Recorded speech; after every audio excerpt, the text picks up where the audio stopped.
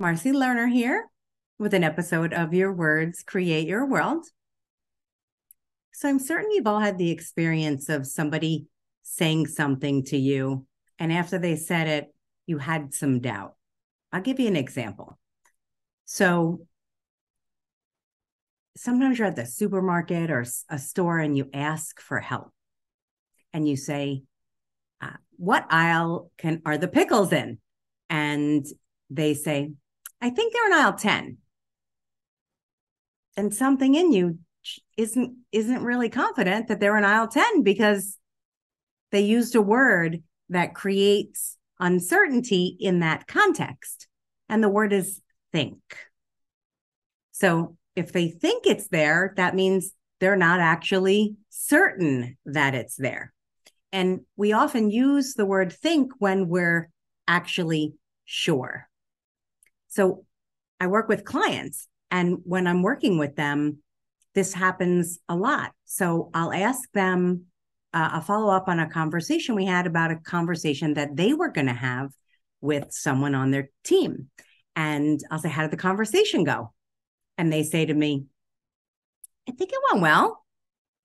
And I said, You think it went well or it went well? And then they think about it. And 50% of the time they say, Oh, yeah, it went well. And I coach them to say, I'm so happy to hear that. And I say, if you know it went well, eliminate the word think, because when you said think, I wasn't certain that it went well. I was questioning it, which is why I asked you. And we use that word. I don't know if it's like a filler word or what it is. We tend to not always claim the thing that we're saying. And if you know went well, say it went well.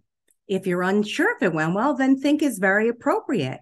And if you want the person to have confidence in what it is you're saying, and I bet that you do in all scenarios, then eliminate the word think and claim it as it is.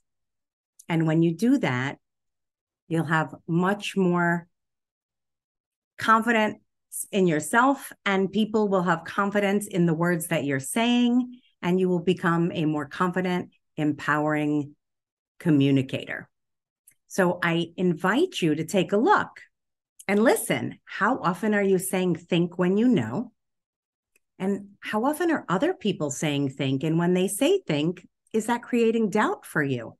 I know it does for me, and I know it does for others. Does it for you? Post a comment, share your thoughts. Marci Lerner here. Your words create your world. What world are you creating?